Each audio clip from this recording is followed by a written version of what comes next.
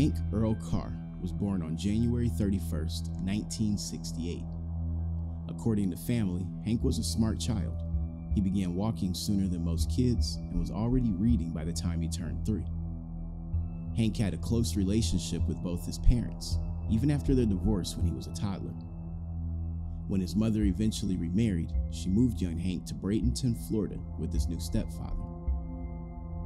When Hank began school, it quickly became evident that he had trouble behaving. Somehow, this never affected his grades and he excelled in his studies. But still, his disruptive and mischievous nature was becoming a problem.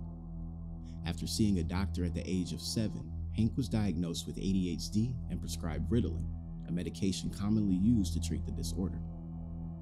This seemed to do the trick. After a while, Hank's behavior improved and he was getting into trouble less and less.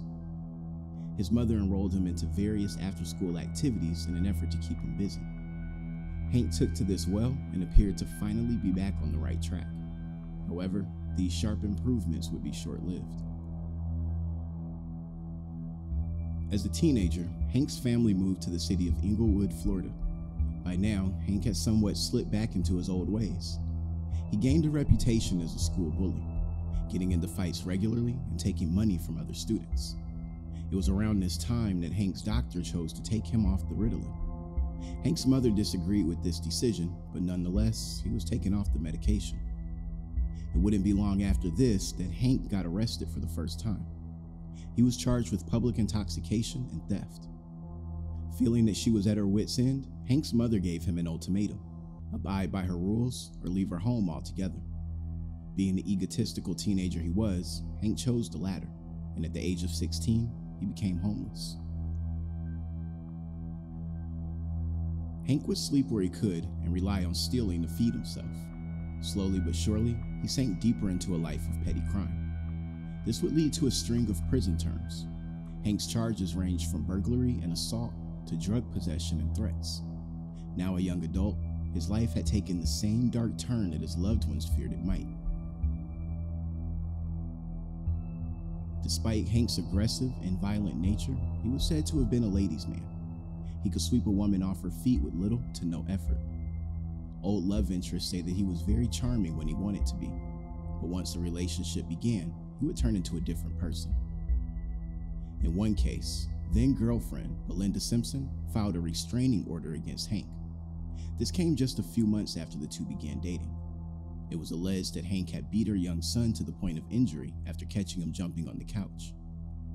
Another girlfriend, Evelyn Sachs, accused Hank of beating her regularly.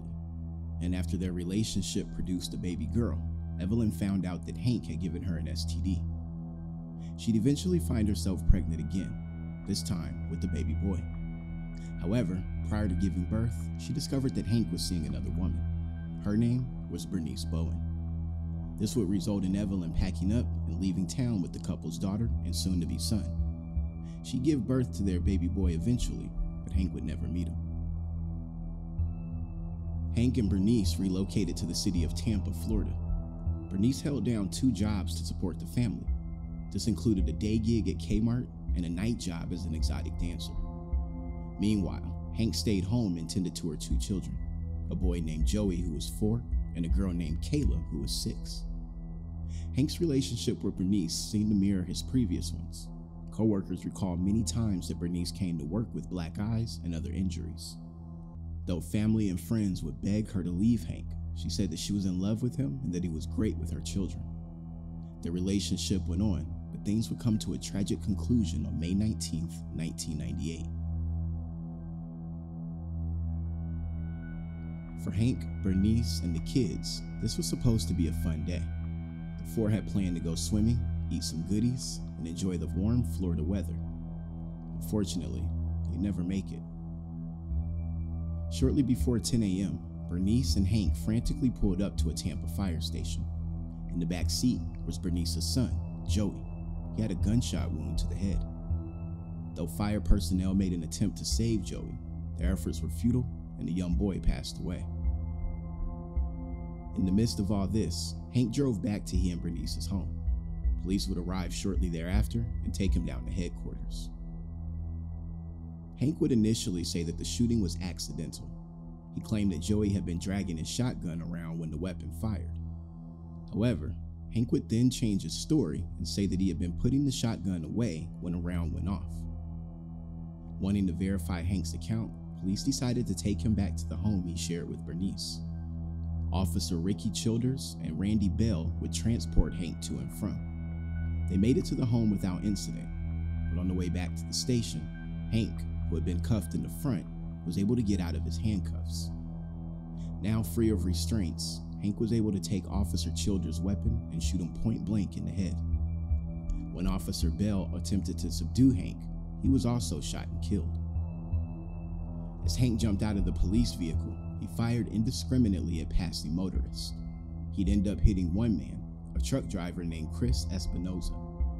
Though Chris survived, he required major surgery to recover. Following this, Hank stole a small pickup truck and fled the scene. He managed to make one stop at his mother's house before heading towards the state of Ohio. Here, he planned to see his daughter one last time. But much to Hank's disappointment, he was spotted just half an hour after starting his trip. Highway patrolman James Crooks would be the one to give chase after seeing the stolen pickup truck pass him by. He pursued for about 10 minutes before Hank suddenly stopped, got out, and opened fire. Tragically, Patrolman Crooks would lose his life after catching two of those bullets. Hank then re entered the stolen pickup and continued to flee. By now, there was an all out manhunt in progress. Officers were pursuing Hank on the ground as well as from above. As he crossed into a neighboring county, authorities had a spike strip waiting for him. Hank ran right into the trap. With punctured tires, he had no choice but to pull over. He rolled into a Shell service station where he managed to take one hostage, 27 year old Stephanie Kramer.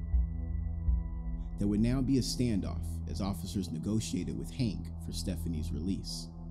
It would take four long and grueling hours, but he would finally let her go. With this, police moved in and tossed tear gas bombs into the building. Upon entering, they found Hank's lifeless body. He had a self inflicted gun wound to the head. In the aftermath, the Tampa police mourned the loss of the three officers, all of whom were highly regarded in their departments. Bernice Bowen, who refused to help police upon Hank's arrest and escape, was hit with several charges, including child neglect, aiding and abetting, and accessory to murder. She received a 21 year sentence, and in 2016, she was released from prison. Though it's been more than two decades since the tragedy, May 19, 1998 has gone down as one of the darkest days in Florida history.